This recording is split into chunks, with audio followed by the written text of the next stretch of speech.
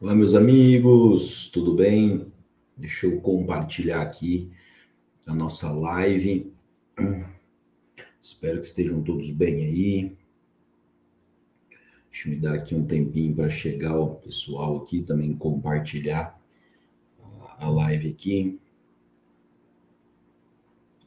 Aqui, deixa eu colocar aqui.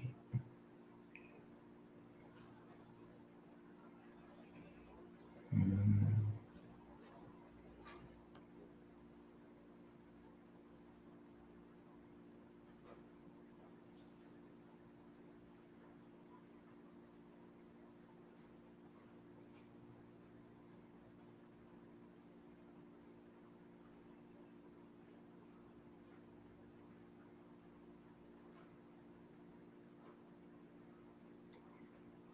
Ok, já temos três pessoas conectadas. Boa noite, amigos. Só estou compartilhando aqui o link aqui nos grupos. É, quem chegou por aí, deixa o seu boa noite, seu abraço aí, de onde você está falando. Estou compartilhando aqui. Ok.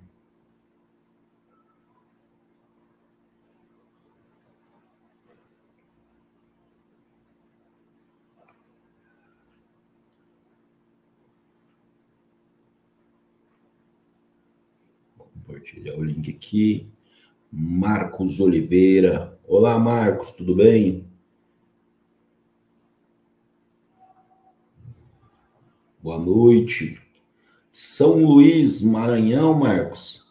Eita, nós.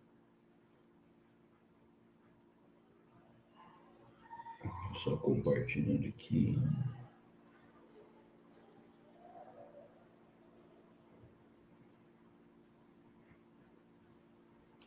Também temos o Márcio aí, o Marcos e o Márcio. Queridos, eu compartilhei aí o. Tá, estava compartilhando aqui o, o, o, link aqui da nossa live de hoje. Queria pedir a vocês também aí que já chegaram aí, que pudessem estar nos ajudando aí, também compartilhe aí na, nas igrejas de vocês aí o link aí também, para nós é, termos mais pessoas aqui conosco aqui nesse bate-papo dessa noite. Deixa-me só abrir aqui o chat por aqui. Ah, tendo Campuri aí agora, Marcos. Ah, o nosso, o nosso, o nosso Campuri foi em julho, se não me falha a memória. Ah, tem, inclusive, tem, inclusive tem duas é, duas ou três ovelhas minhas aqui da Central que foram para o Campuri de vocês aí. Eles participaram do nosso Campuri agora e foram para o Campuri de vocês aí. Também no Campuri, saíram aqui de Minas Gerais para assistir assistir o Campuri aí. Né? Campuri é, é benção aí para os desbravadores aí.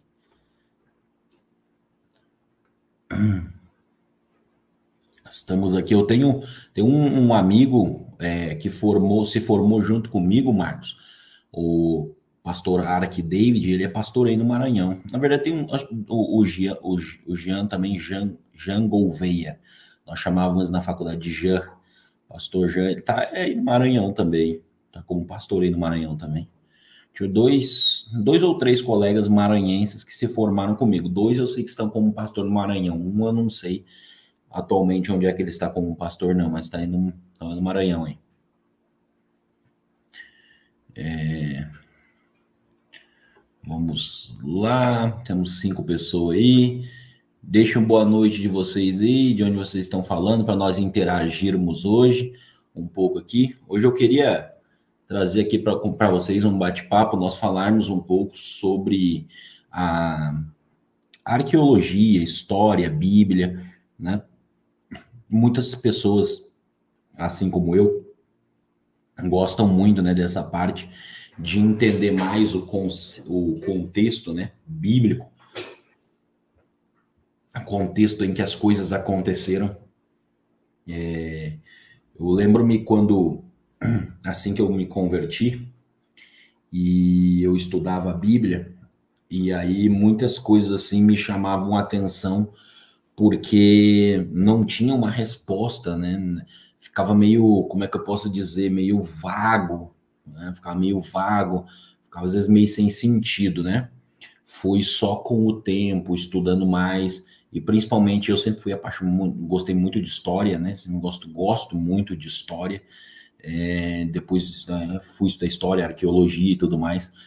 E aí, quando nós olhamos para as fontes históricas e para a arqueologia, as coisas começam a fazer um pouco mais de sentido na Bíblia. Obviamente, também tem a questão das línguas originais também que nos ajudam muito no, no, na pesquisa bíblica, mas eu tenho certeza que talvez a experiência de muitos de vocês e de outras pessoas que vão assistir essa live depois seja semelhante à minha no início né, de minha caminhada cristã, né? Que nós vamos muitas vezes estudar o texto e aí gente, nós lemos algo no texto e aquilo fica meio sem sentido para nós, né? Ou às vezes até mesmo coisas que nós lemos. Eu quero, eu quero hoje eu quero usar até um exemplo nesse sentido, né? Que eu separei aqui para falar com vocês. Às vezes tem um texto que nós lemos até compreendemos ele, né?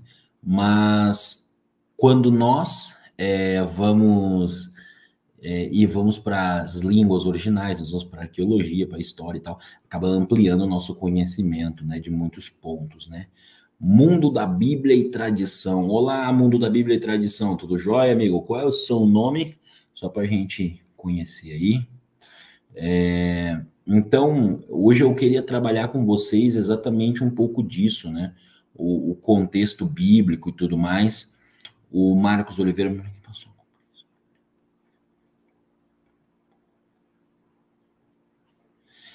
O, o, o, Marcos, esse nome, História do Movimento Cristão Mundial, eu não lembro desse nome, não, desse título, não. Não lembro desse título, não. Chegou aí o Epimendes. Boa noite, Epimendes. É, também o Floyd ali, a mensagem dele subiu para cima. É... O, o, o, o, Floyd, tu disse, tu pergunta aqui sobre a origem de Israel. Origem de Israel em que sentido? Detalhe um pouco mais a pergunta para você, porque dentro do debate histórico e arqueológico, nós temos aí alguns debates, algumas disputas acerca das origens de Israel, né? Então, é, me especifica melhor qual é a tua dúvida, porque como é um debate muito amplo e muito muito delicado, se você for mais direto na sua pergunta, fica mais fácil de eu responder, né? Senão vou gastar duas horas aqui para responder a sua pergunta. Wesley, Wesley Renilson, Roraima. Boa noite, Wesley. Uh, aqui o mundo. Graduando em História e Teologia. Bacana, bacana. Duas áreas que eu sou apaixonado: História e Teologia, né? e Arqueologia também são. Eu gosto muito de antropologia também, né? São, são áreas que se conversam. Quando eu. O, o, o, o mundo bíblico, que é Cleovanil, né? Quando eu era pastor escolar e eu dava aula de religião, nas introduções das minhas aulas, muitas vezes eu falava, né? Que se nós formos parar para observar, a, a teologia, possivelmente, ela é uma das áreas mais desafiadoras, se não a mais desafiadora de se estudar. Porque para você estudar teologia corretamente, você estudar teologia bem estudado, você vai precisar conhecer de história, arqueologia, antropologia, filosofia, linguística, literatura, geografia, é, mesmo questões envolvendo física e da, mesmo das áreas das ciências naturais, porque quando tu trabalha com, com datação e etc., então a, a, a teologia acaba, ser, acaba por ser uma ciência, uma área de estudo multi, é, interdisciplinar, né? Você tem muita questão, conversa com muitas outras disciplinas, muitas outras ciências, então é um desafio. É, é um grande desafio. Concluindo pós em cultura judaico-cristã, legal. Você está fazendo pós em, em cultura judaico-cristã por aonde? Está fazendo aonde? Na PUC? É, que eu sei que aqui no Brasil eu conheço só duas universidades que têm, é, uma é a Unisal, né? Que tem até inclusive o, o reitor lá, o, o, desculpe, o coordenador da pós em estudos judaicos lá foi meu professor no seminário rabínico, o Rabino Alexandre Leone, foi meu professor é, no seminário rabínico. E eu conheço, da, acho que é na PUC, isso, na PUC que tem, né, em estudos, é, literatura judaica, né? Eu não conheço outra faculdade que tem pós em, em, em cultura, em questões judaicas. É, temos aí o Brito Furto, Furtado. Seja bem-vindo aí, Furtado. Seja bem-vindo. Boa noite para você, querido. Temos aí o Márcio, dizendo assim: ganhei o dicionário bíblico da editora Paulus, 1980. Ela usa muitas vezes a palavra tradição javista e sacerdotal. Fala um pouco sobre isso e qual, e qual livro você recomenda. Ah, sim, bacana.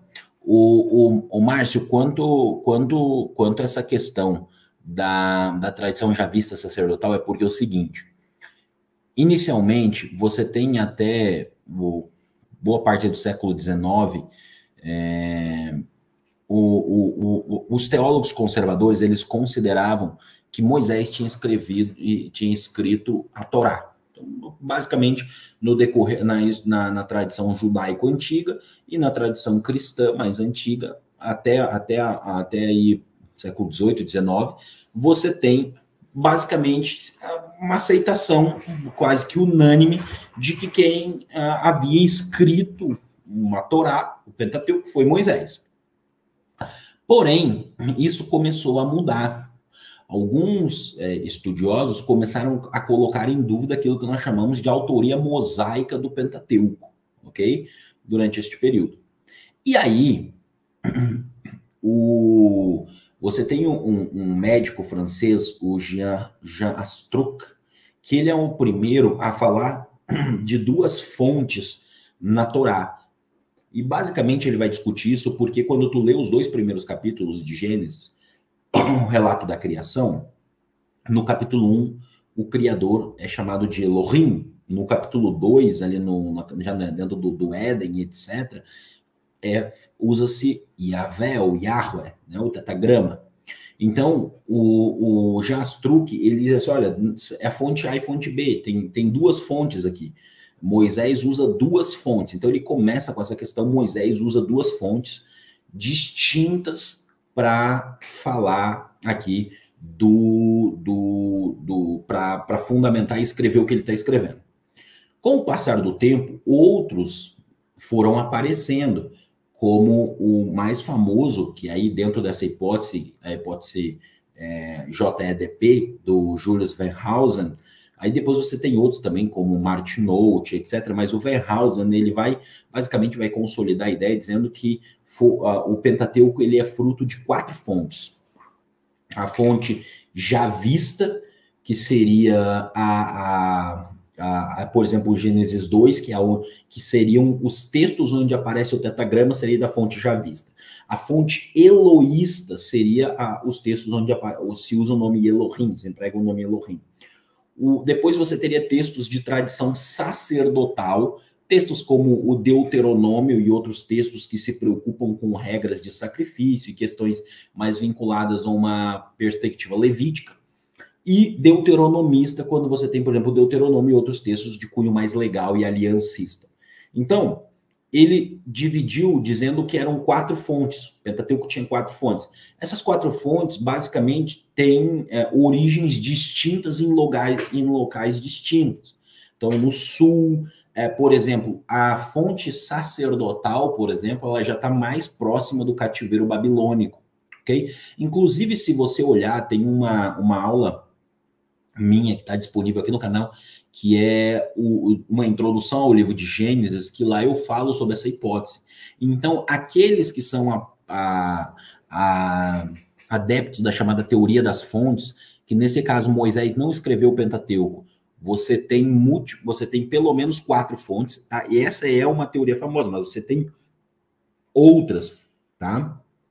Como, por exemplo, o Gerhard von Rad defendia, né, o, a, o hexateuco e tal, incluindo Josué junto. Então, você tem algumas outras teorias distintas. Inclusive, o pastor Sérgio Monteiro, ele escreveu um artigo que é o, sobre o estado da pesquisa do Pentateuco, né? E ele faz um, ele faz um, um bom apanhado das diversas perspectivas e diversas visões acerca da formação do Pentateuco certo? Essa, essa, essa hipótese do, do, do Van Hausen, é, também do Gerhard von Rad e outros que acabaram seguindo eles e repetindo ela, é, ela caiu assim em desuso. Não vou dizer que ela foi plenamente abandonada. Existem alguns poucos ainda que defendem ela como era defendida por Verhoeven. Ela precisou passar por uma série, uma série de remodelações e também é, possivelmente com o tempo vai ser abandonada. O, o, o Emmanuel Tove ele escreve um livro sobre a formação do cânon da Bíblia hebraica. Em um dos capítulos é colocado exatamente essa questão que ele, ele vai, vai ser destacado que essa hipótese documentária que em algum momento era uma hipótese canônica. O que, que ele quer dizer em algum momento uma hipótese canônica? Você chegava numa faculdade de teologia, você chegava num curso superior de teologia, praticamente todo mundo dava por certo que essa era a origem do Pentateuco e ninguém discutia. E se você discutisse, você era desconsiderado, você era olhado de uma forma diferente, você não era considerado como acadêmicos e etc. Aí o que, que acontece? Você tem algumas coisas que vão abalar fortemente essa teoria. Primeiro são os estudos literários, que começam é, não necessariamente em ordem cronológica, tá? Mas os estudos literários, eles, é, a partir da década de 70, especialmente, com você tendo nomes como Robert Alter, tá? Que talvez seja o principal nome neste caminho, que o, o que, que o Alter e outros autores vão fazer? Eles vão parar e vão dizer assim: olha, o texto ele é um texto literário. E por ser um texto literário, nós temos que analisar ele com métodos literários.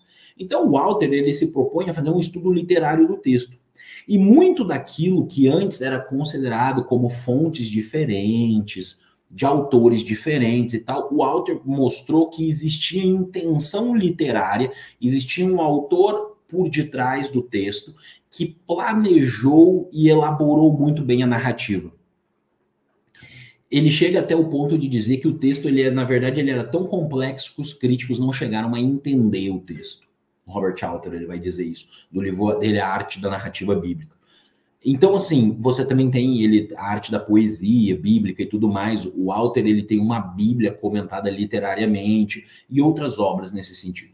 Então, o Alter, junto com outros estudiosos, como Falkman e tudo mais, e até nós poderíamos citar um adventista, que o Lawrence Tanner, é, eles vão pôr em dúvida e vão abalar as bases dessa, dessa, dessa, dessa teoria que é a hipótese documentária, demonstrando que muito daquilo que era considerado fontes diferentes, porque às vezes tinha uma característica textual diferente, ele, tá, ele começa a demonstrar e dizer, não, veja, não é necessariamente assim, tá? Não é necessariamente assim.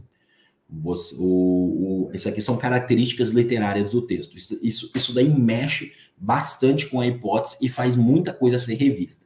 Por outro lado, você também tem estudos mais voltados para a história e para a arqueologia, que eles começam a revolucionar este, esta discussão, começam a revolucionar essa discussão.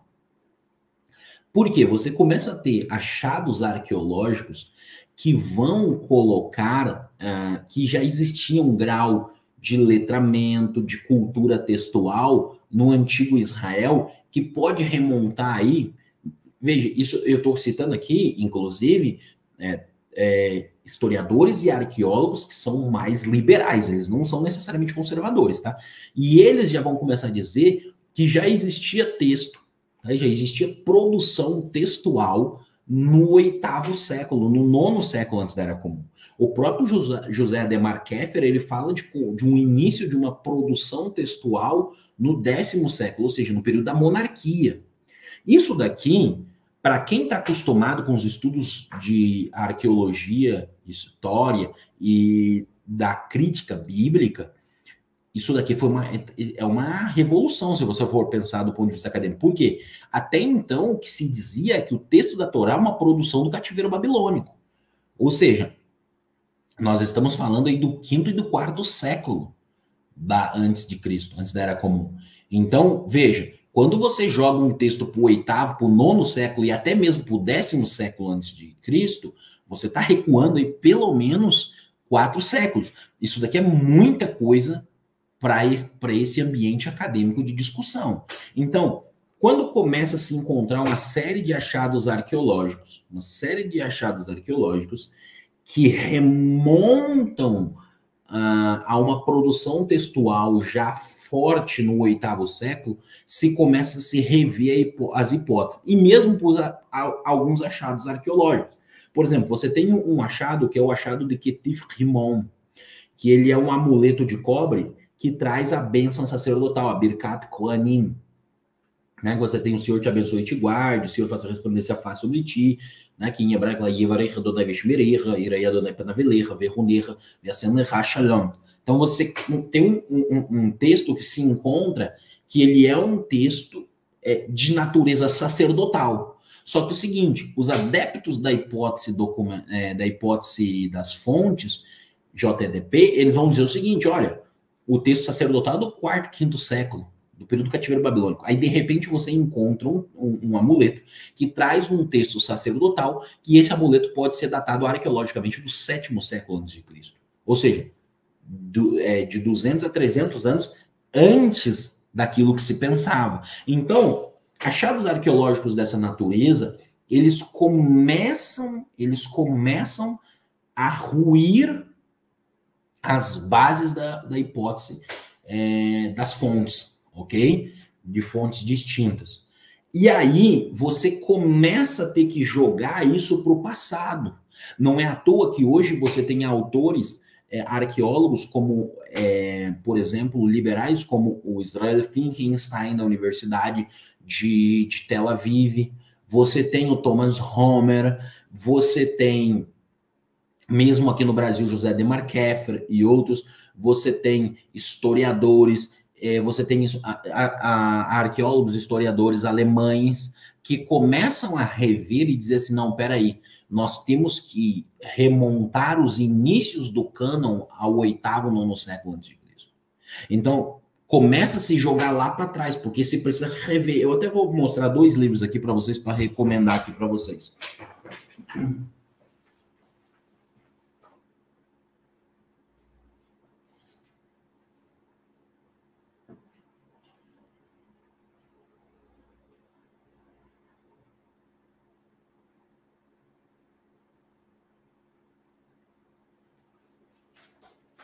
Aqui, ó.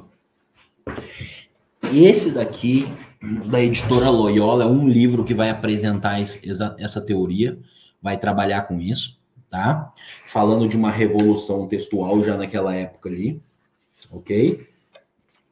É um texto bem interessante, tá? Inclusive, olha só o quinto capítulo, que é um capítulo que eu gostei bastante escrevendo, Ezequias e o início da literatura bíblica. Tá? Josias e a revolução textual.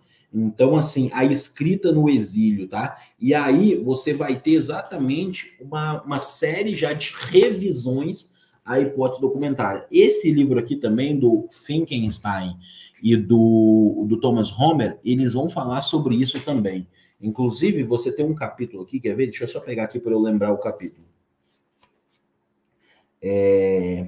Aqui, ó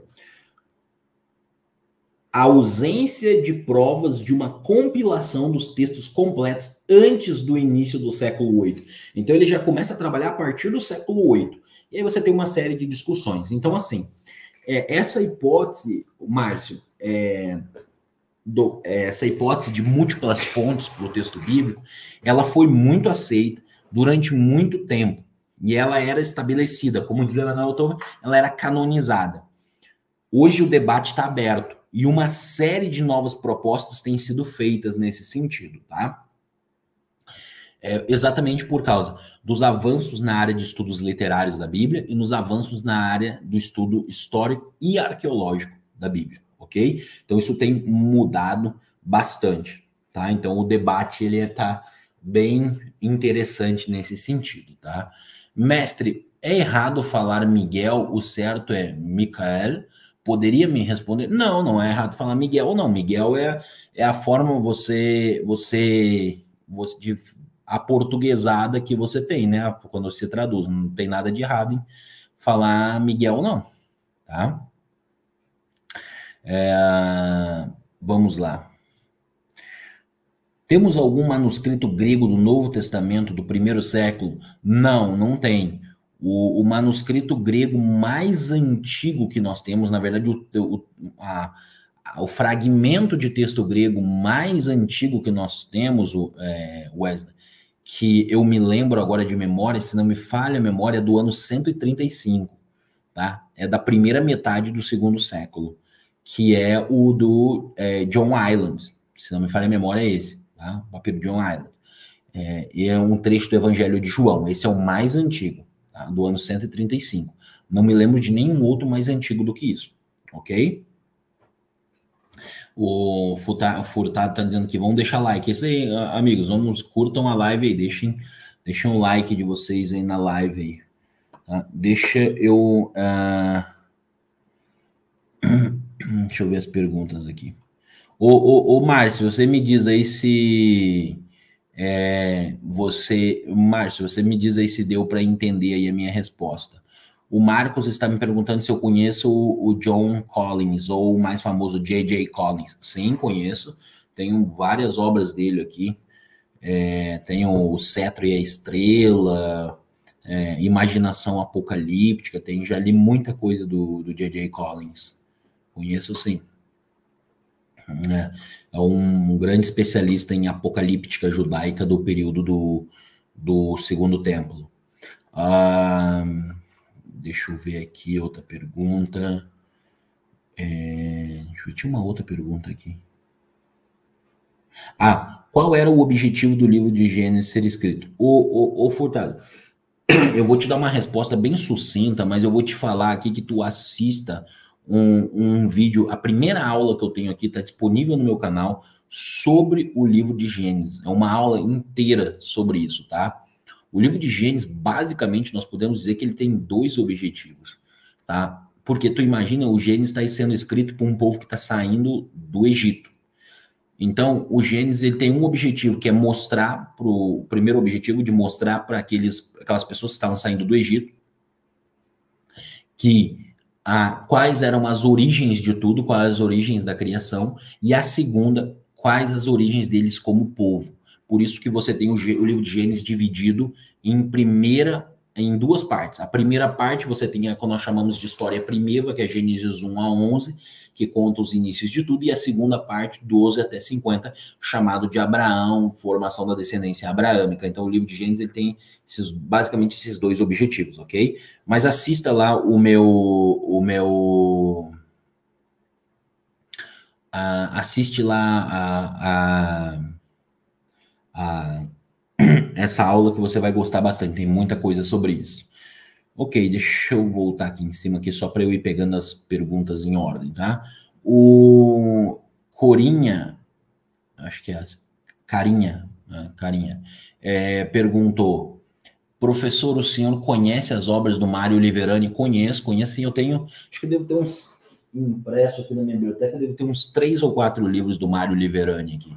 Já li, é um bom historiador, gosto bastante dele. É, ele, a visão dele se aproxima razoavelmente da, da posição do Finkenstein. ele é um pouco mais comedido que o Finkenstein, é, mas eu gosto bastante, já li bastante. É, tenho artigos escritos aí publicados na área de arqueologia, inclusive onde eu cito Mário Liverani. Tá? É, o Misael está perguntando assim: Olá, pastor, o senhor aprendeu hebraico somente na faculdade de teologia ou deu continuidade em outra instituição? E o que é preciso para começar a, a, e dar continuidade? Ok. Misael, na verdade, eu não aprendi hebraico na faculdade de teologia. Quando eu cheguei para estudar teologia, eu já sabia hebraico, inclusive dava aula de hebraico. É, eu iniciei hebraico numa época, faz, ó, lá no início, tentando num cursinho, fazendo um cursinho. Só que na época, o curso que eu fazia era num pessoal que de linhagem judaica, só que, tipo, um, eles não davam curso de hebraico, se eu for parar para pensar propriamente dito. Eles misturavam muito teologia com hebraico. Então, e, à medida que eles iam ensinando hebraico, eles ensinavam um pouquinho de hebraico e misturavam com a visão deles. Ensinavam um pouquinho de hebraico e misturavam com a visão deles. Então, na verdade, eles estavam usando o hebraico, usando a desculpa de dar aula de hebraico para tentar doutrinar na visão deles. Quando eu percebi isso, eu saí fora e passei a estudar de forma autodidata. E basicamente todo o meu conhecimento que eu tive de hebraico foi autodidata, foi lendo, tá? estudando sozinho. Quando eu cheguei na faculdade, eu já conhecia é, hebraico. É, inclusive, é, o, o, aí, isso é uma coisa, né? Quando, por exemplo, quem teve aula de hebraico, alguns talvez que tenham assistindo a live ou vão assistir a live depois, ou já ou estão aí, estão. É, é, assistindo, assistindo, assistindo a live, é, foram meus alunos. Quem foi meu aluno sabe. Eu, por exemplo, no meu, no meus, nas minhas aulas de hebraico, eu não, não, eu não discutia doutrina. Não é meus alunos para ensinar doutrina, minha visão doutrinária. Ensinar para a língua, ensinava a língua, interpretação de texto, a língua hebraica, né, sintaxe e tudo mais. Tá? Crítica textual também um pouco, mas não entrava em questões doutrinárias. Então, quando eu comecei lá atrás nesse cursinho, o pessoal é, queria, na verdade, era usar a desculpa do ensino do hebraico para é, colocar a visão deles, né? Que era bastante torpe. E aí depois eu segui estudando hebraico sozinho, fui comprando as obras, fui comprando as obras e, e estudando. Mas se a gente for parar para pensar, essa revolução de cursos de hebraico na internet, ela tem um, cerca de cinco anos mais ou menos que você vai ter assim cursos de hebraico, 5, 6 anos você vai ter mais ou menos isso, assim, que começou esse negócio de muito curso de hebraico. Antigamente tinha um que outro. E diga-se de passagem, hoje essa coisa de curso de hebraico tem que ter muito, tem que ter muito filtro, né? Porque tem muita gente por aí dizendo que dá curso de hebraico, dá aula de hebraico, é que a pessoa estudou hebraico 1 e 2 ali mal tem, mal e mal tem um conhecimento de, de hebraico, não, não, não tem nem nível intermediário de hebraico e se apresenta como professor. Tanto é que a gente vê, em alguns casos, vexames aí, na, até em programas de televisão, de pessoas que se apresentam como professores de hebraico e dão verdadeiros vexames, né? É... Lembro-me de uma situação em que o indivíduo que se apresentava como professora tem um debate com o pastor Sérgio Monteiro, ele citou uma questão gramatical ali, traduzindo a expressão lá, lá em Gênesis, né, Lenefesh Hayah, alma para viver, algo assim, e ele tentou justificar com base na preposição lambda.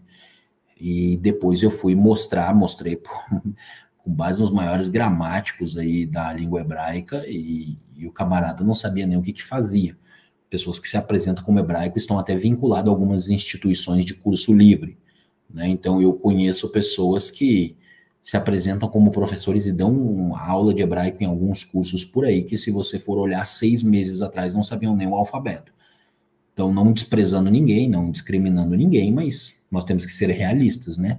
Tem que cuidar muito, tem que ver as credenciais de quem tá, de quem está, de quem está se, se propondo a ensinar, né? É, ok? Então, e aí, para dar continuidade, amigo, língua, vamos dizer para você, tanto o hebraico quanto o grego quem está me assistindo e tem interesse de aprender hebraico e grego. Determinação e foco. Determinação e foco. Muito, muito, muito do aprendizado de uma língua vai passar pela sua determinação e o seu foco. Você está decidido a aprender. Você pode ter o melhor professor que for, pode ter o melhor professor que for. Se a pessoa não tiver determinada, não tiver, não, não, não for sistemática, não for disciplinada, não aprende. É, eu tinha tive alunos ao decorrer do período que eu, que eu dei aula de hebraico que, tipo assim, a pessoa pegava para estudar no dia da aula, não aprende. É melhor você pegar, ó, alguns erros que se comete. Não, eu vou estudar duas horas de hebraico toda segunda-feira. Não funciona é melhor você estudar 25, 30 minutos por dia de hebraico ou de grego do que você estudar uma hora, duas horas, um dia da semana e não pegar mais. Ok? É melhor você ter uma continuidade, você ter, você ter um momento, você ter um horário, você ter uma disciplina e você ter uma sequência do que você ficar de vez em quando pega, estuda duas horas, decora uma palavra ou outra. Não, isso daí não funciona. Então tem que ter disciplina, tem que ter sequência, tem que ter um programa, tem que ter um projeto para aprender. Você perguntou aí se o meu curso de hebraico ainda está ativo. Não, já tem, acho que desde o início de 2022 que eu não dou mais aula de hebraico. Tá? Não, não dou mais aula de hebraico. Ok? É... Deixa eu ver aqui. Ah... Não, o, o, o, o, o, Walter, não é que é certo, Miguel, o, o, é, é porque a forma como tu está escrevendo aí na, na segunda, com M, I e o K, essa é, é uma transliteração do hebraico. No hebraico você teria Michael, ok? Michael. Essa que você usa com K é uma transliteração do hebraico. Miguel já é uma adaptação do nome hebraico para a língua portuguesa. Você está adaptando adaptando o nome hebraico para a língua portuguesa. Você está colocando o nome Michael, você está colocando ele hum, é, para a língua portuguesa, para os leitores de língua portuguesa. Então, na verdade, nenhum dos dois está errado, porque Michael é em hebraico. E aí a forma de se ler a portuguesada vai ficar é, Miguel, ok? Uh, vamos. É, Vamos avançar aqui. Uh... É, em português, tu diz o Mário Liverani, né? Em português, acho que tem uns três ou quatro livros dele só, em português. Vamos lá. Eusébio de Cesareia fala que Mateus deixou uma cópia em hebraico. Comente sobre isso.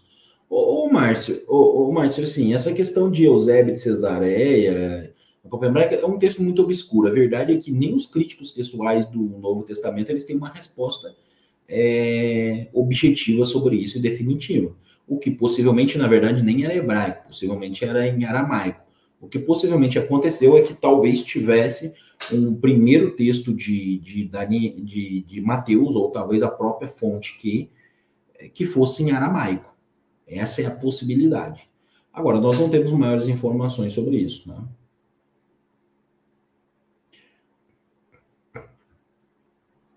É, o papiro John, é, o papiro John Ryland 466 do ano 117. É, na, é, é, é, essa datação 117 aí, o, o Floyd, eu acho que ela já é uma datação. Tem que ver quem é o autor, né? Porque a datação que eu conheço desse desse desse desse papiro aí, ela já é que eu sempre ouvi foi ali 125, 135, tá? Essa datação mais recuada eu não conheço. Mas de qualquer forma, se for 117, é, ainda é segundo século da era cristã, não, não é do primeiro século. E, esse, é o mais antigo que se tem. Hum, Olha, o, o Walter, como melhorar a pronúncia do hebraico? Primeiro você tem que, primeiro você tem que entender as diferentes a, as diferentes os diferentes as diferentes pronúncias, tá? porque um judeu askenazi ele vai ter pronúncias diferentes de um sefarade. Uh, no Brasil, o hebraico que é ensinado, a pronúncia hebraica que é ensinada, geralmente ela é uma pronúncia sefardita, ok? O que que eu, uma das coisas, um exercício que eu falo para pronúncia de hebraico, para pronúncia de hebraico, um exercício é ler e ler em voz alta. Então, se você está fazendo aula de hebraico, se você está estudando hebraico, pegue a sua Bíblia hebraica, pegue o Tanar e leia em voz alta todos os dias, pelo menos um capítulo, você vai ver que rapidamente a sua leitura irá melhorar, porque o teu cérebro precisa acostumar-se com o hebraico.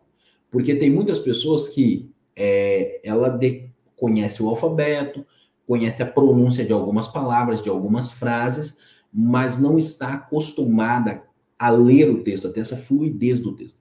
Então, o que você precisa fazer é ler o texto, exercitar, ler. Eu não sei se você já viu mas quando você pega uma pessoa, até na língua portuguesa, você pega uma pessoa, a pessoa sabe ler.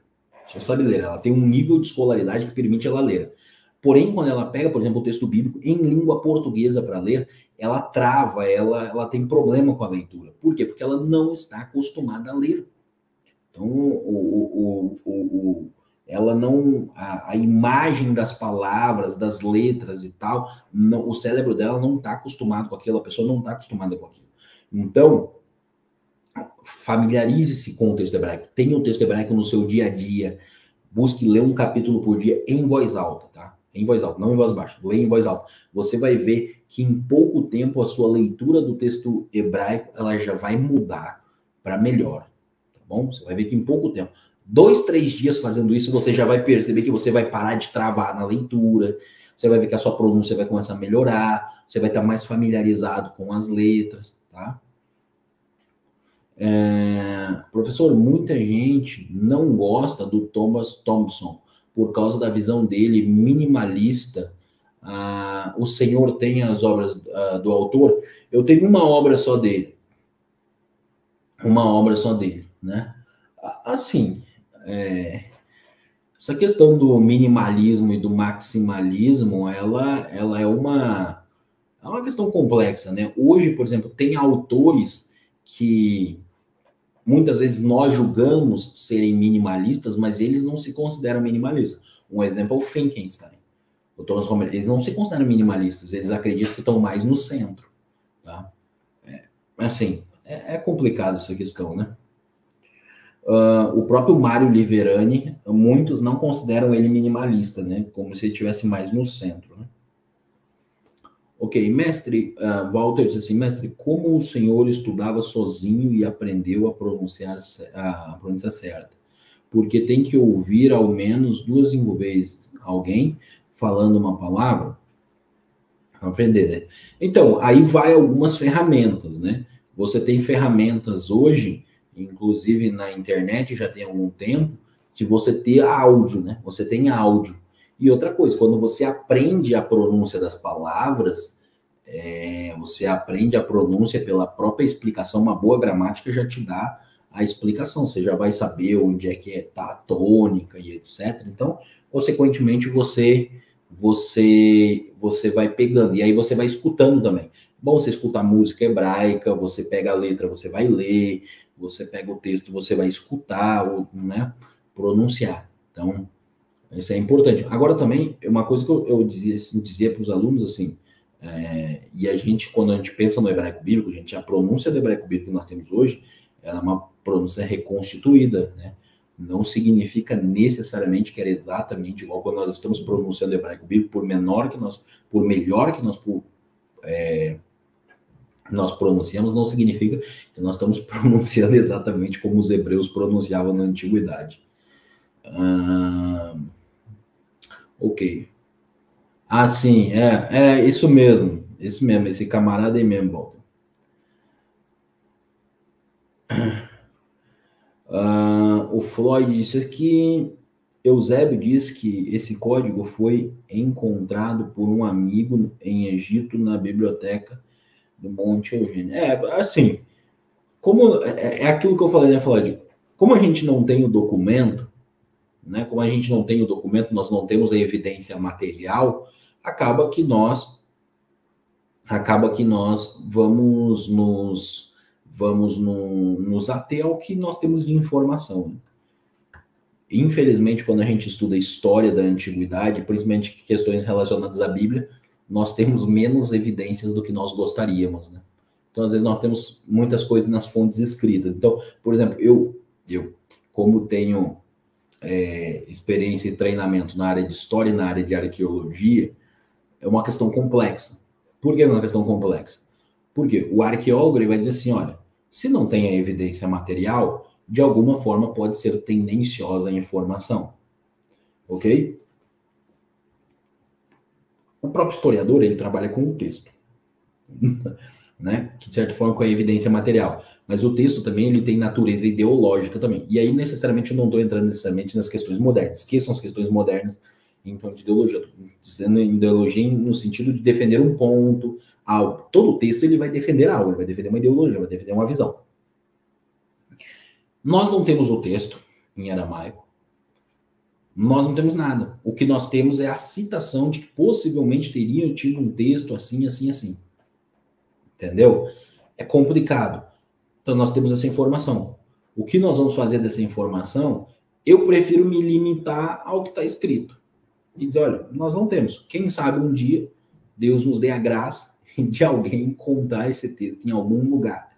E aí nós vamos poder discutir isso. No mais, nós não temos muita coisa para fazer.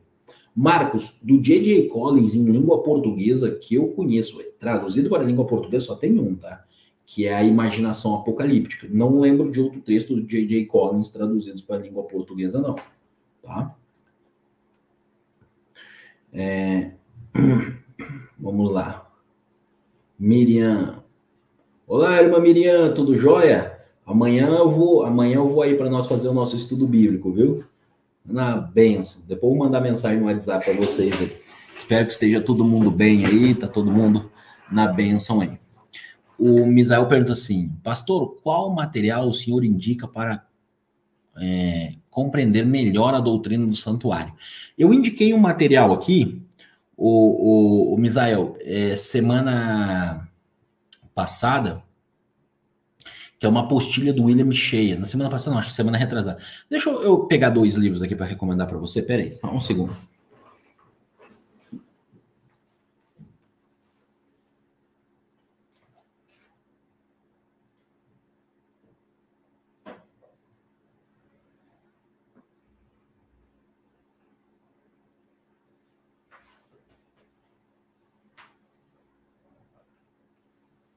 Ó, tem um livro você entender melhor o santuário, eu posso passar para você a apostila do William Cheia, te mandar por e-mail. Para você entender mais a questão de Jesus e o santuário, eu te recomendaria esse livro aqui do Frank Hoblock, tá? O Sacerdócio Expiatório de Cristo. É vendido pela Casa Publicadora Brasileira, tá? Esse livro aqui do Frank Hoblock. Esse livro aqui eu li ele, se não me falha a memória, foi em 2015. 2015 eu li. É muito bom esse livro, tá? Meu aí tá todo marcado. Eu vou, eu não, eu não consigo ler sem grifar, ó. Tudo anotado aqui, tudo marcado. É, então, assim, é um livro muito bom, tá? Então, eu posso te passar essa apostila do Eli Michel, ela não é publicada, ela é uma apostila, posso te passar para você estudar, e eu te recomendaria de livro, A Relação de Jesus, o Sacerdócio, o Santuário, eu te recomendaria esse livro aqui, O Sacerdócio Expiatório de Jesus, de Frank Hoglock. E tem um livro dele também que é chamado A Luz de Hebreus, que é o quarto livro da série Darkon, que também tem, que ele faz a relação do santuário, Hebreus e tudo mais. Eu não sei se tu já conhece essas literaturas, mas é um bom ponto de partida. Uh... Mestre, na sua opinião, qual a melhor gramática de hebraico? Olha,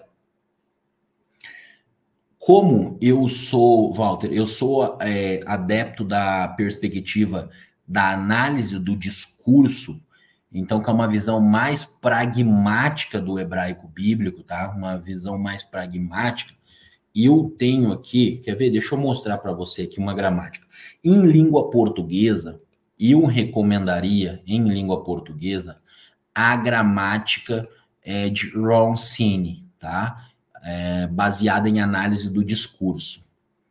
Deixa eu mostrar aqui para você. É, eu vou compartilhar a tela aqui para mostrar uma gramática para vocês. Espera aí. Aqui, janela. Aqui.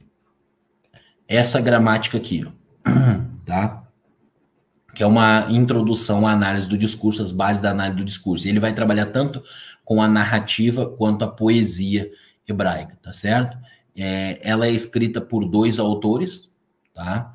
É, você tem que o principal, e inclusive um dos autores que eu mais gosto, que é o Van Pell. Tá? Van Pell é muito bom, junto com o Matthew. Uh, você tem aqui. É, você tem aqui, então, a primeira parte, toda baseada na questão do discurso, e a segunda parte baseada já na. A segunda parte baseada na narrativa, no, no, na poesia. São duas formas de analisar. A do Roncini, em língua portuguesa, é essa daqui, ó.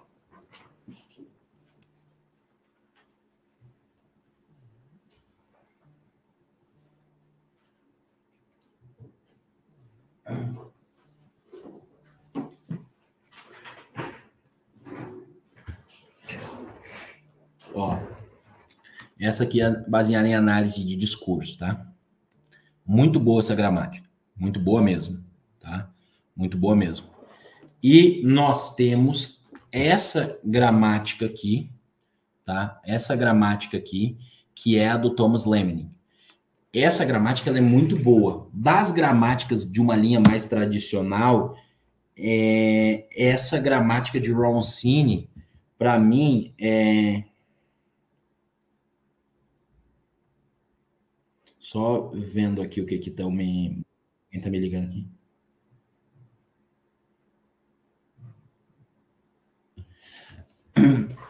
Ela é a melhor, tá? Vocês terem noção, essa gramática ela é tão boa, mas tão boa, que o, o Bruce Walton, na sintaxe dele, que é um calhamaço, ele usa muito essa gramática como referência. Então, assim, do ponto de vista técnico, eu, eu não estou falando nem, nem é, de didática, tá? eu não acho ela muito didática para quem está iniciando, mas em termos de apresentar conhecimento gramatical da língua hebraica, essa com certeza é a melhor gramática em língua portuguesa. Agora, do ponto de vista metodológico de estudo do hebraico, para mim, essa daqui é fantástica. Eu diria as duas, tá? As duas gramáticas em língua portuguesa. Eu tenho Acho que eu tenho praticamente de gramática mesmo, deve ter, deve ter praticamente todas aqui é, de língua portuguesa, mas essas aqui eu indicaria, tá? Você vai ter um conhecimento mais, mais ao ponto aí do, do hebraico. Deixa eu ver aqui. Aqui.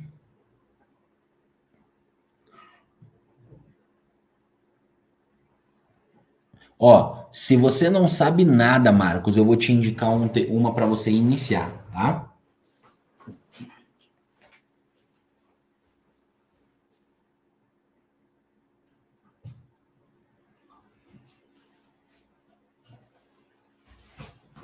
Aqui, ó. Para quem não sabe nada. Nunca estudei hebraico, pastor. Nunca estudei hebraico. Quero, assim, dar o pontapé inicial noções do hebraico bíblico de Paulo Mendes. Isso aqui não é uma gramática, isso aqui está mais para um manual de exercício, tá? Mas assim, para quem nunca estudou nada, ah, nunca peguei hebraico, pega isso daqui, tá? Faz isso aqui bem estudado, segue isso aqui bem estudado. Depois que você estudar isso aqui bem estudado, aí sim, você se preocupa com gramáticas desse padrão aqui, tá? Então, para quem nunca viu hebraico bíblico na vida, esse aqui. Para quem já estudou o basicão do hebraico, já tem uma certa noção, é, já tem uma certa visão e tal do hebraico, já estudou um pouco, recomendo isso aqui. Tá bom? Recomendaria isso aqui.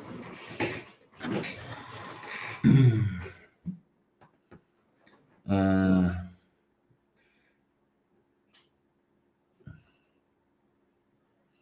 deixa eu ver aqui. Aqui. Uhum. Uh, o Walter perguntando se eu falo hebraico moderno. Um pouco, Walter. Até tô, tô, tô, tô bastante relapso nos últimos tempos no hebraico moderno. Quando eu estudava no seminário rabínico, eu estava bem melhor no hebraico moderno, porque para formar no seminário rabínico tem que ter nível tinha que ter nível avançado em hebraico moderno. Muitas das aulas que nós tínhamos, o material era em hebraico moderno nós tínhamos que ler obras em hebraico e etc. Então, eu estava, na época, estava muito bem no hebraico moderno focado. Só que aí eu acabei dando uma, uma. Estando um pouco de. Fiquei um pouco nesses últimos dois anos, eu praticamente não peguei nada de hebraico moderno. Mas ainda consigo ainda entender e me comunicar. Esses dias eu estava conversando com um amigo que mora lá em Israel, está morando lá em Israel, conseguia compreender ele razoavelmente, mas ainda eu precisava voltar a pegar e me comunicar para ficar mais afiado, ok? Mas dá para quebrar o galho. ai, ai. Vamos lá, mestre, uh, essa só o senhor tá tirando dúvida. Uh, o bait sem o pontinho vira veit, né? Isso, isso. A letra bait sem o dagas é, é, fica um veit. Por que a maioria das pessoas fala nabi para profeta ao invés de navi? Já que lá é um veit e não um beit. Olha, eu, eu sinceramente, falar a verdade, ser sincero para você, eu nunca vi ninguém falar Nabi. Nunca vi ninguém falar Nabi. É, todo mundo que eu conheço fala Navi. Fala Navi. Tá? Uh, volto para aqui. Mestre, está pastoreando onde? Eu sou pastor em Minas Gerais, o, o, o Walter. Eu estou como pastor aqui no centro-oeste de Minas Gerais e na cidade de Itaúna. Eu sou pastor de atualmente. Eu fui quando eu cheguei aqui eu era pastor de 11 igrejas, aí dividi o meu distrito. Hoje eu estou com cinco igrejas. Uma nós iniciamos esse ano. Então a nossa central está em Itaúna, mais ou menos uns 50 quilômetros de Belo Horizonte. E aí, indo sentido Belo Horizonte, nós temos mais algumas igrejas. Nós temos em Mateus Leme, eu tenho duas igrejas em Mateus Leme, que é uma igreja no, no centro de Mateus Leme e outra igreja mais num distrito de Mateus Leme, é, em Alta Boa Vista, e temos um grupo lá também, uma igreja em Serra Azul. Então, na verdade, em Mateus Leme tem três igrejas, tá? Tenho, eu tenho a Central de Itaúna, tenho três igrejas em Mateus Leme e tenho duas em Itatiaia-Sul, que já é para o outro lado. Tá? A, a, e antes eu era pastor da cidade de Juatuba, Pará de Minas e São José da Varginha e Pequi. Só que aí dividiu e eu fiquei só com Itaúna, Mateus Leme e Itatiaia-Sul, que nós temos aí é, ao todo é, seis igrejas, tá? Três igrejas formadas e três grupos. Um, um, nós plantamos, graças a Deus, nós plantamos, iniciamos recentemente em Serra Azul, iniciamos esse ano, plantamos lá num projeto em parceria com a Igreja Mãe do Alto da Boa Vista e com o projeto do Um Ano em Missão, e vamos plantar mais duas esse ano, se Deus quiser, no, no 2024, uma em Igaratinga e outra em é, Itaúna também, tá? Se Deus nos permitir assim. Então, atualmente, eu estou pastoreando em Minas Gerais, aqui é a Missão Mineira Oeste, ok? É, tem apenas quatro anos de existência a Missão Mineira Oeste, antes daqui era tudo território da Mineira Central. Eu não sei de onde é que é você também, Walter, não, não sei se você conhece que é a região, ok? É, o Misael disse assim, eu comprei essa aí do Frank, meu e-mail, vou passar aqui para o senhor me enviar a apostila, por gentileza. Ok, é, a série da Arcon, eu quero, estou terminando o livro no Santuário, na, na Corte Celestial, uma defesa. De, esse livro é muito bom. Esse livro na Corte Celestial, uma defesa do juiz investigativo, é muito, muito bom mesmo.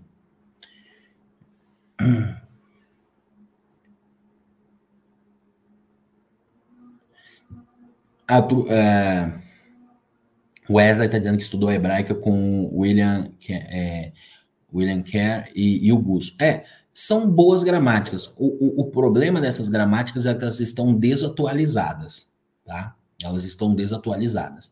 Então, tem muitas coisas que o hebraico avançou, é, que, que, que, essas gramáticas elas mantêm posições antigas ainda, está desatualizada. Por isso que eu acho que essa gramática aqui, ela tá é muito boa, porque ela está atualizada, tá? Ela está atualizada.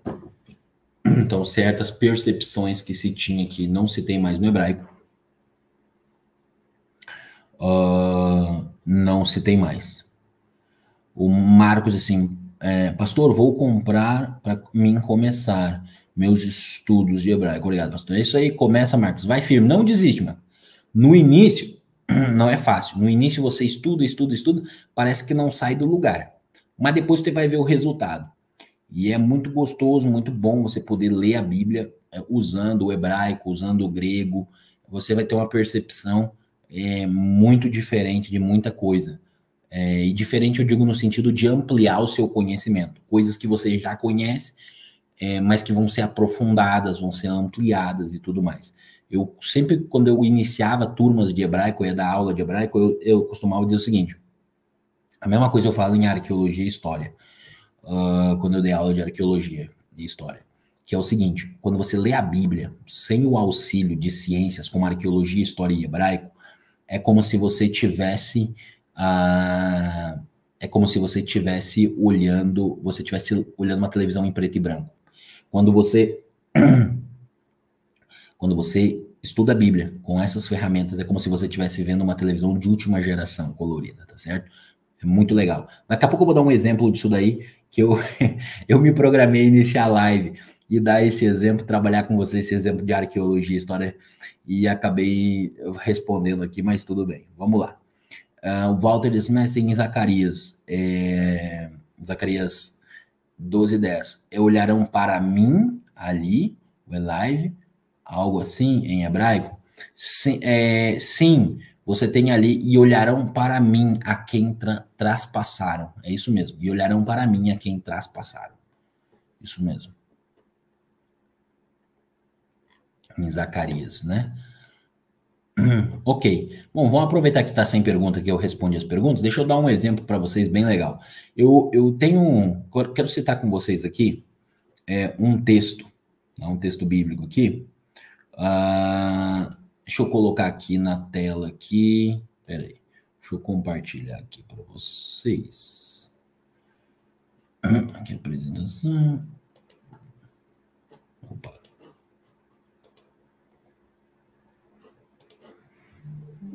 Deixa eu colocar aqui.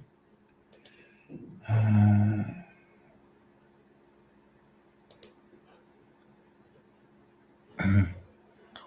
Vê se vai, vai aparecer agora.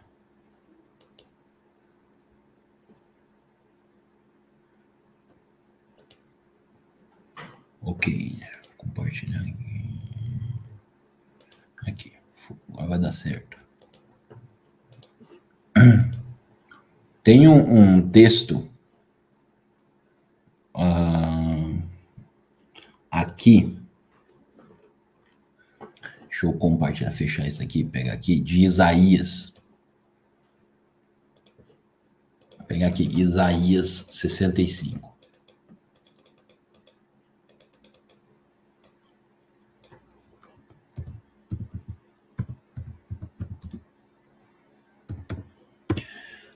acredito que vocês já, vocês já, já devem ter lido esse texto ou até mesmo usado esse texto em estudos bíblicos. Diz assim: Fui buscado pelos que não perguntavam por mim, fui achado por aqueles que não me buscavam. Há um povo que não se chamava do meu nome. Eu disse: Eis-me aqui, eis-me aqui. Estendi as mãos todo dia a um povo rebelde, que anda por caminhos que não é bom seguindo os seus próprios pensamentos. Povo que de contínuo me irrita, sacrificando em jardins e queimando incenso sobre altares de tijolos, que mora entre as sepulturas e passa as noites em lugares misteriosos, come carne de porco e tem no seu prato ensopado de carnes abomináveis.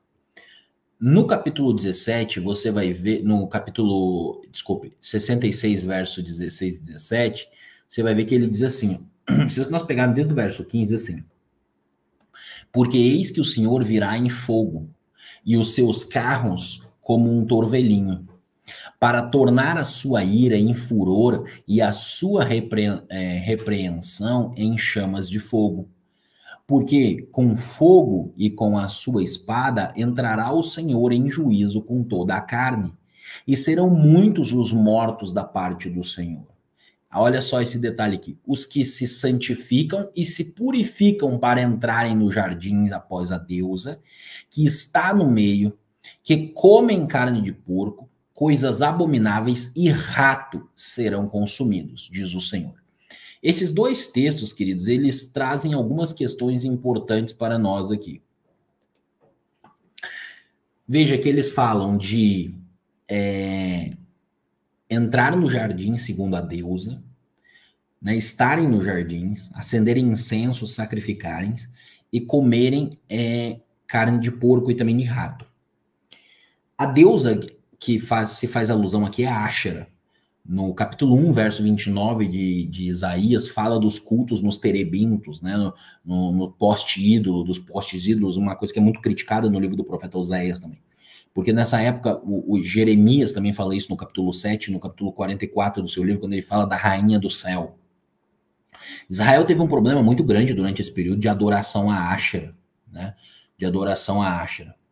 E, e aí, o que, que é interessante nesse sentido? Eu li muitas vezes, eu já tinha lido esse texto, estudado esse texto, né, quando fala, né, de comer carne de porco e tudo mais.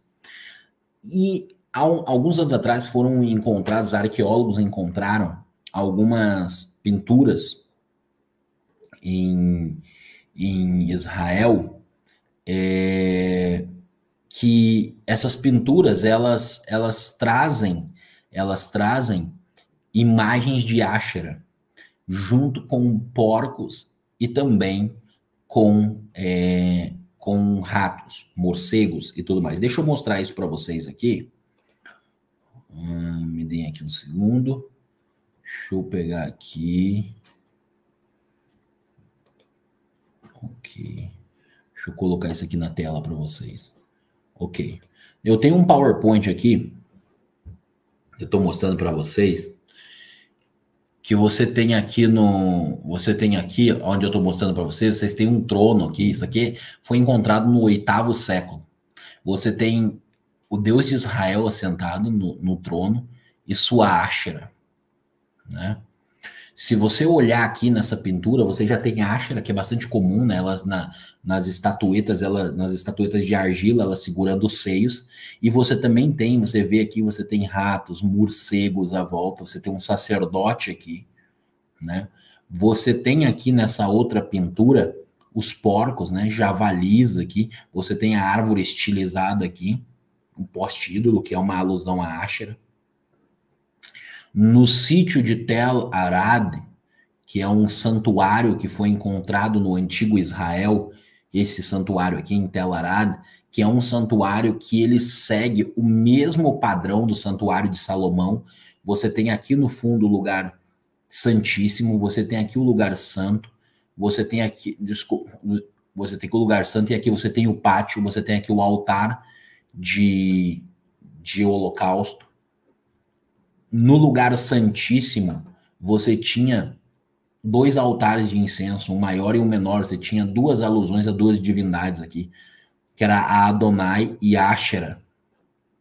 Aqui visto de cima, o lugar santíssimo nesse santuário. Inclusive aqui nós temos uma reconstrução de como ele seria, né? Você teria o Santo dos Santos, né, o lugar santo, e você teria o pátio aqui. Esse, esse, esse santuário aqui, ele remonta, gente, esse santuário aqui, ele remonta aí a volta, por volta de 950. Eu acredito que esse santuário aqui remonta àquela apostasia que o livro de Reis retrata de Salomão, quando diz que Salomão é, estabeleceu lugares de culto para suas esposas. O que, que é interessante nisso? Você olha para essa, você olha para esses, para esses achados arqueológicos e você vê ali Ashera, né? Com porcos, com rato e tudo.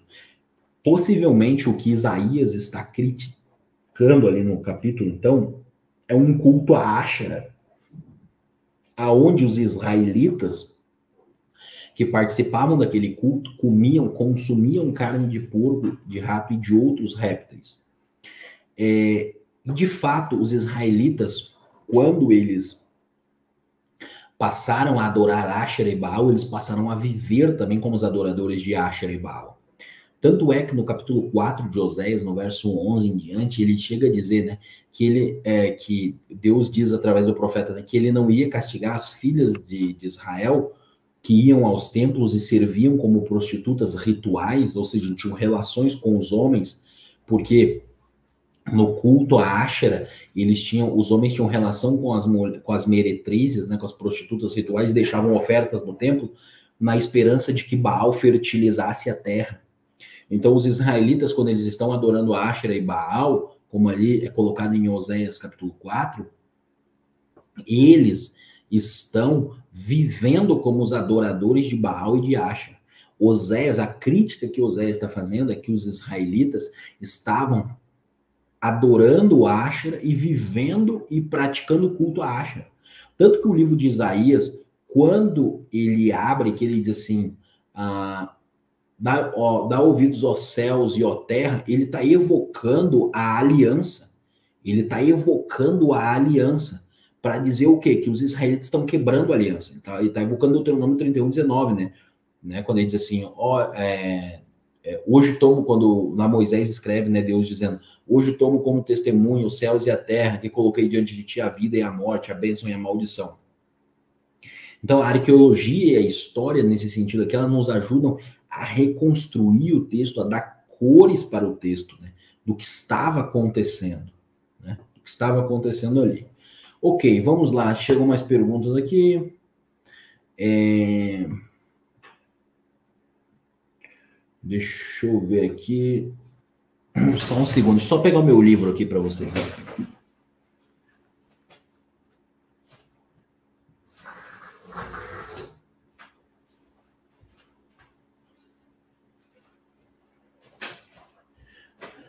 Walter, eu escrevi um livro, sim, que é esse livro aqui, ó. Tá?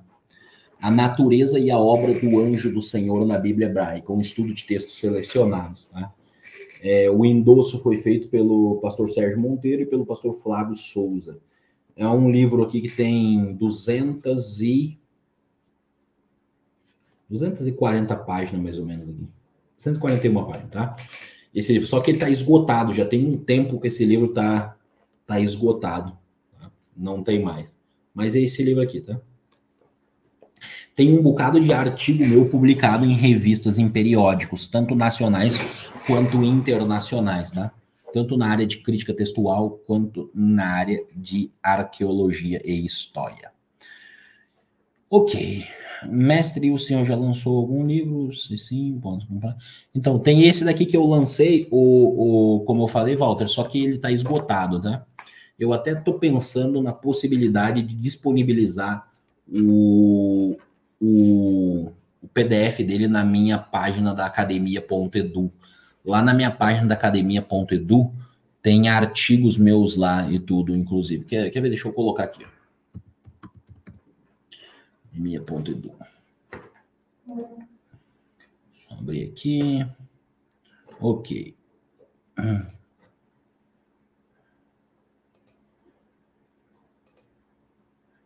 eu abrir aqui.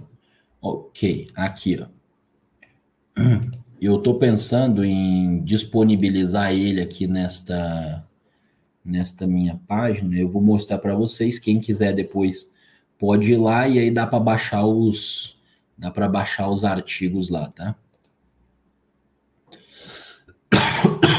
Opa, desculpa.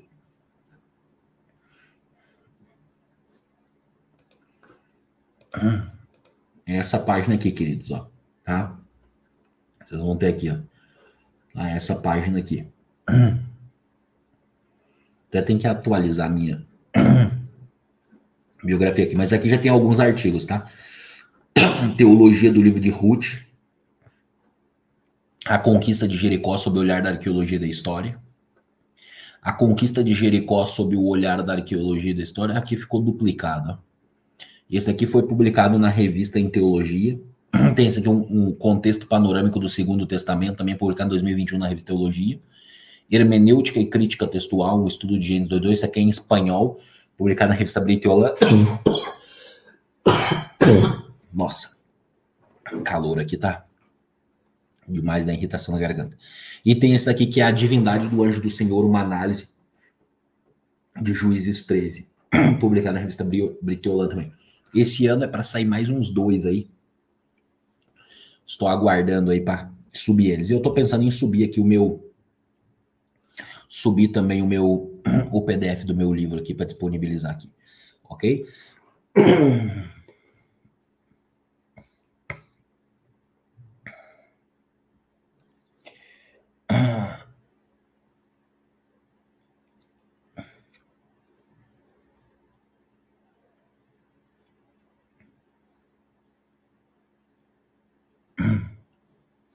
O, o, Rafael, sobre a questão da trindade, tu tem o meu livro.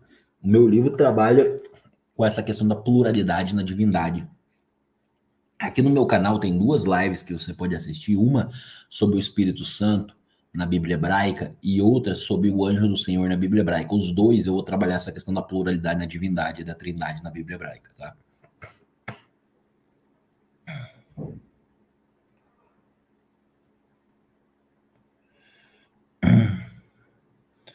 É.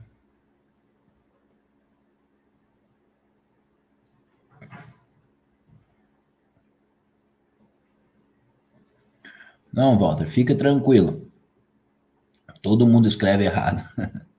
Não esquenta, não. É...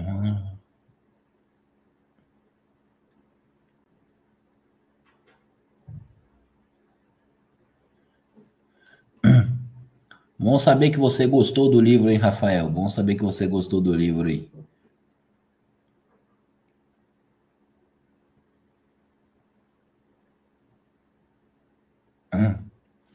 Olha, o, o, sobre a gramática do Kelly, eu gosto dela, mas eu tenho uma ressalva em relação a ela, desatualizada, tá? Tem muitas coisas ali a respeito dos verbos que não, não dá para abraçar mais. E até mesmo na questão de, de substantivos, adjetivos e etc. Tem muitas coisas que hoje nós sabemos e que na época não, não estava à disposição. Né? Hoje nós sabemos, na época não estava à disposição. Então, a, a minha, a minha, meu ponto, o que eu pontuaria em relação a ela é que está desatualizada, ok? Quanto à questão de você buscar pesquisa acadêmica, eu te recomendo tu entrar no Google e aí tu escreve assim, Google acadêmico, ok? Tu vai no Google acadêmico, tu coloca o nome de autores que vai aparecer vários artigos ali, tu coloca temas que tu tem interesse, vai aparecer vários artigos acadêmicos de várias universidades acerca disso, tá? Joga no Google, Google Acadêmico, e tu vai entrar, vai ter uma página do Google Acadêmico. Lá, meu amigo, tu vai, tu vai encontrar artigo de tudo que tu imaginar, tá? De todas as universidades aí.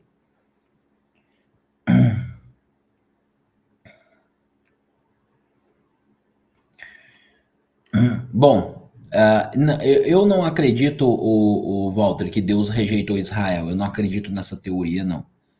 Tá? Mas, queridos, vamos lá. Vamos encerrar por aqui. Já temos um bom tempo de live, já temos uma hora e quinze de live. Tá? Vamos encerrar por aqui. Outra hora, nós, é, nós seguimos aqui. O Rafael está dizendo que. O Márcio está dizendo que comprou o livro do Jacques Ducan do Apocalipse. É muito bom. Agora, se tu comprou do Jacques Ducan do Apocalipse, o Márcio, tem, tem um outro aqui que tu não pode deixar de ler, não, viu?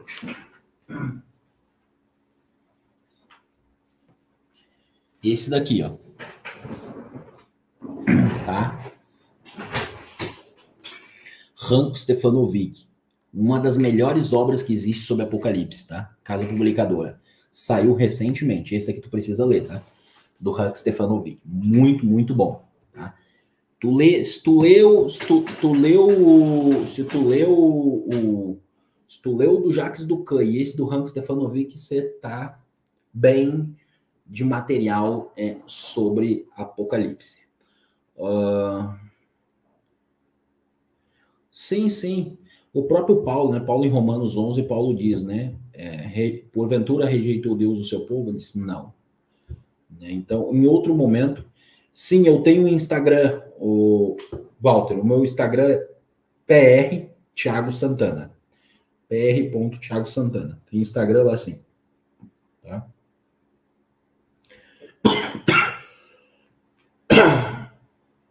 Sim, as duas gramáticas que eu mostrei são mais atualizadas. Essas duas estão atualizadas, tá? São novas abordagens, elas estão atualizadas, essas duas. Tá? Essas duas, elas estão acompanhando as pesquisas mais recentes na área do hebraico bíblico, ok? Sobre o Google Acadêmico, é isso mesmo, escreve assim mesmo, Google Acadêmico, só escreve separado, tá?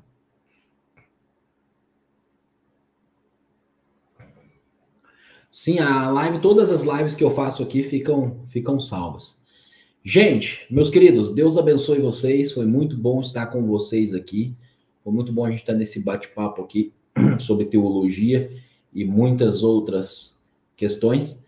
É, logo mais pretendo fazer outras lives aqui, para a gente ir conversando, tá bom? Deus abençoe vocês. Forte abraço.